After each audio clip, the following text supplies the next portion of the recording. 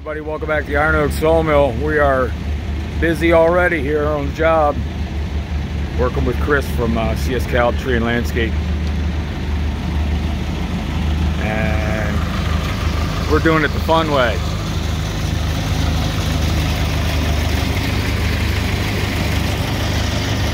Got a crane out here on the job.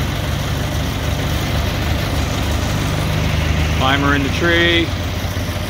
Doing the first pick of the morning. Pop out of an ash tree. And I'm gonna just keep myself out of the way.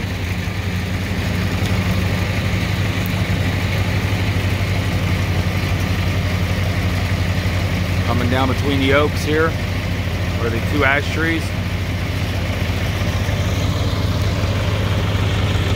Feeding it into the big old chipper.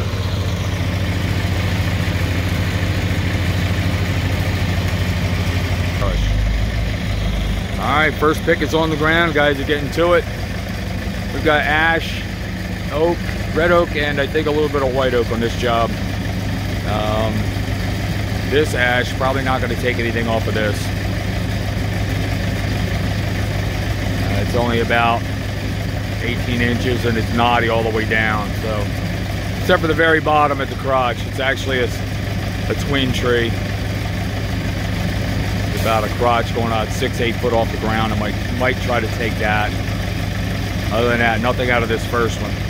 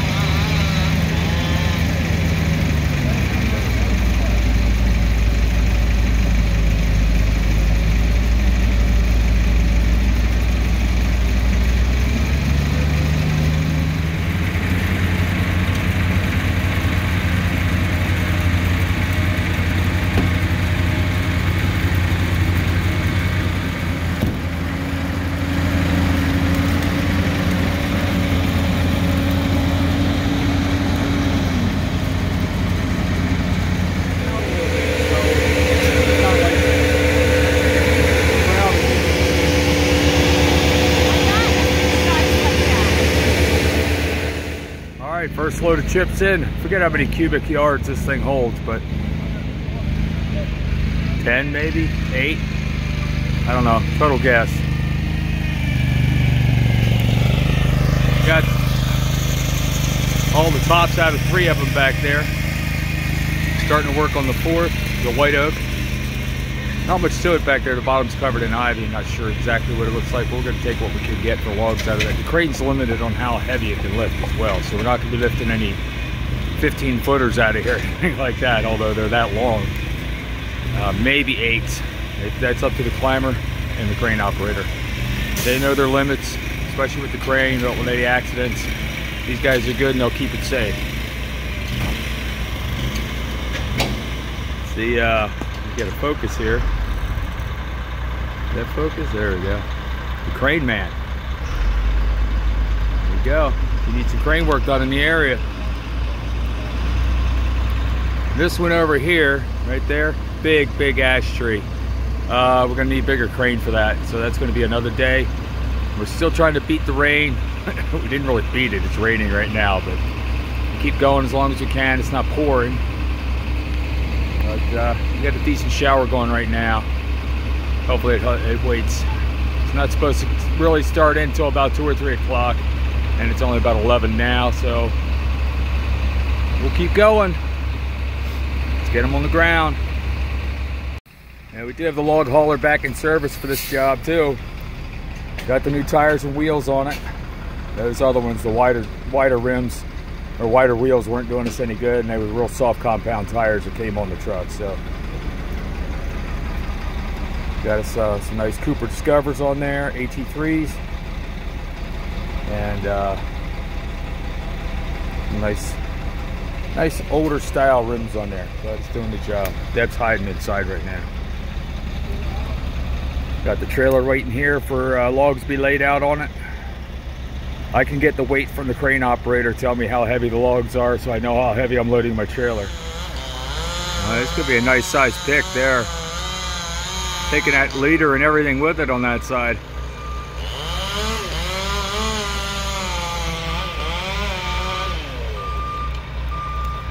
Popped it right off of there The beeping noise is the uh, chipper truck backing up behind me to dump off a load of chips.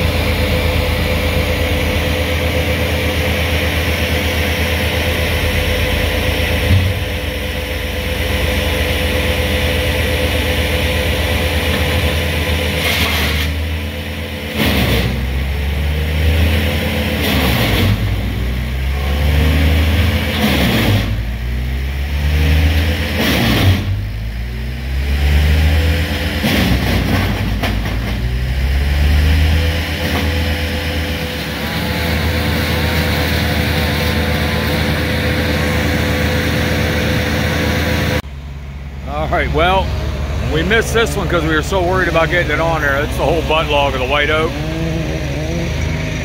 24 inch diameter, roughly, on a big end. About 16 feet long, 15 feet long, loaded with ivy. Yep, because here to the uh, beaver tail is 16 feet, so it's a 16 footer. Probably cut it off about 10 foot for the clear lumber, take the rest of it for crotch up here at this end. So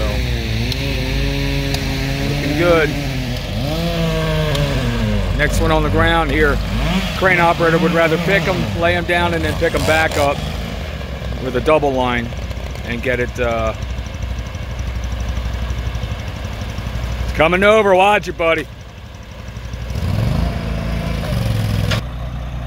All right. Well, we got crane operator wants to lay them down because it's easier to pick them, lay them down, and then put a double sling on it to uh, make it more stable to load onto the trailer. Deb's telling me no for this. That's a nice red oak crotch. If you, if you disagree with her, let me know in the comment section. But the log hauler's working good. I'm really happy. It's uh, the new tires getting plenty of grip here on the wet grass. Um, trailer's doing good. I mean, it's a trailer, 10,000 pounds. So, got to get this off of here. Definitely got to get that ivy off there. I told Deb, if it comes up to the house, make sure this goes in the burn pile. Don't uh, don't let it get planted anywhere. You don't want this English ivy growing anywhere near your house. Next pick coming out. It's like ash. Unless that's another red oak. Nice.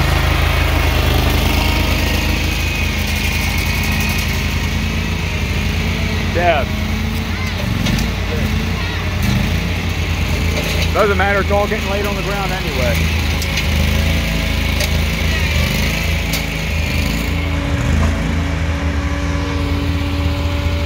There's another log.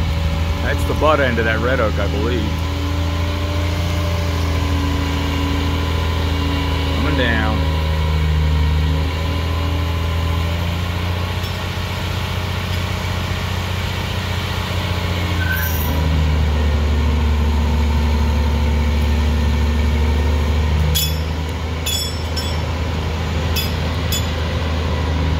Yep, gotta watch overhead and I don't have my helmet on either.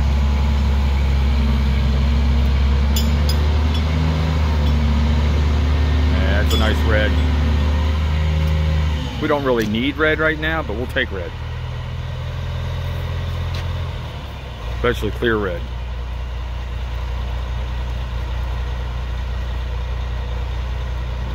Those guys get the slings off. Yeah, I don't have a helmet on, so I'm not going under there. I took my helmet off. I should put it back on.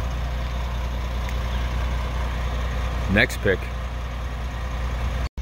I can't see the climber. He's down behind the house. But yeah, that's like a 25 footer,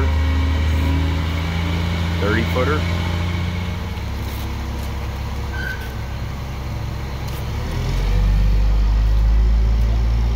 And it's down.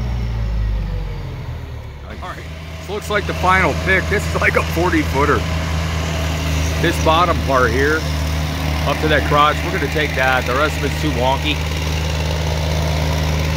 Man, that's a big one. That's at least 40 foot. I'm surprised that it, well, the crane is close, so it wasn't a big reach to get to it. And it is ash, so it is lighter than the oak.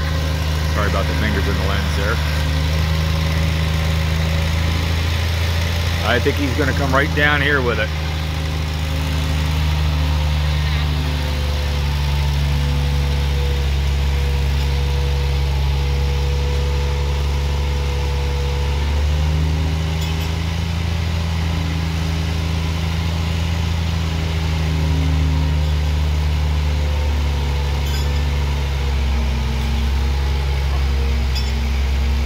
it's gonna reach the trailer.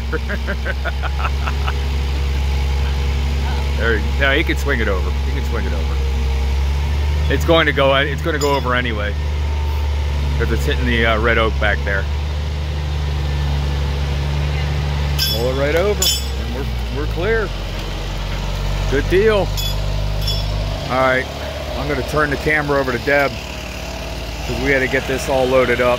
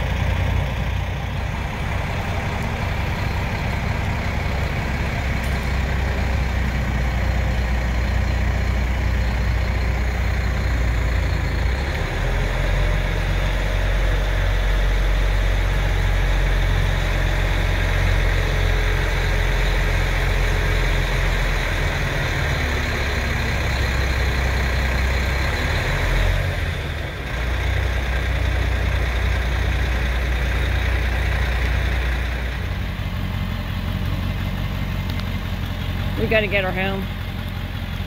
I don't like this at all. This is what we got on on it. A lot.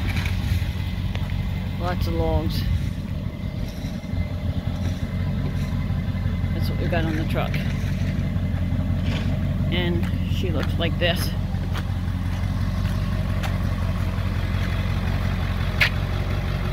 Pretty much. I gotta tell Chuck. Alright, out. Well, we made it home. Everything's intact.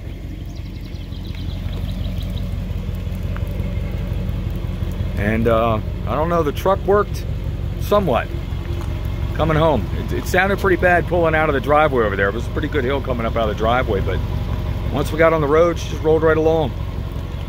Nice and easy, don't beat it. Also remember, if you're doing this kind of heavy hauling, don't pull in and shut it off. Especially with the diesels. You gotta let the exhaust temperatures cool down, you gotta let your trans cool down, and let your engine cool down. I mean, the trans temps didn't go above 160 in here, maybe a little 170. But we weren't really romping on it, so did good. Did real good. Had me, like I said, had me a little worried pulling out of the driveway over there, but after that, it's just smooth sailing. Little, little bumpy, but did real well. We'll be rolling these off the trailer maybe today. I don't know. It's still raining, but we got to get the weight off the truck. So let's uh, let's do that. Let's do that right now. I'm just going to jack the tongue up here, take the weight off the truck. We have the trailer wheels chocked. Just gonna get the weight off the springs of this thing. So give it a little break. There you go. I already dropped the jack down, so.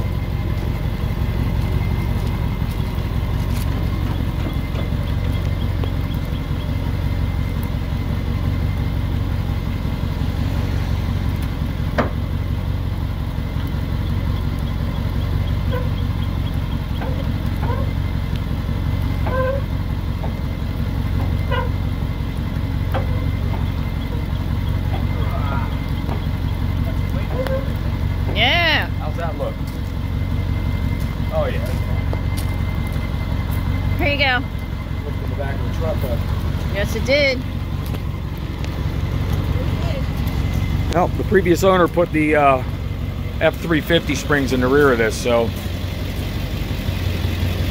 that worked out well. Doesn't mean you can load it down real heavy, but it did make it a little stiffer so you didn't get the sag in the back. So, all right, we're gonna go in the house, take a break. Trailer's fine with the weight. Might have to back it up a little bit. Roll the logs in there. We weren't gonna bring these here, but it's too much weight to roll into the field next door. Go. Boost gauge, of course, that's zero because we're idling. Exhaust gas temperatures, we're down right around 200. That's good. We can shut it down. And trans temp 140. That should be fine. All right. I think we're looking at a uh, different transcooler for this truck. If we're going to haul heavy, let's get a good trans cooler in here.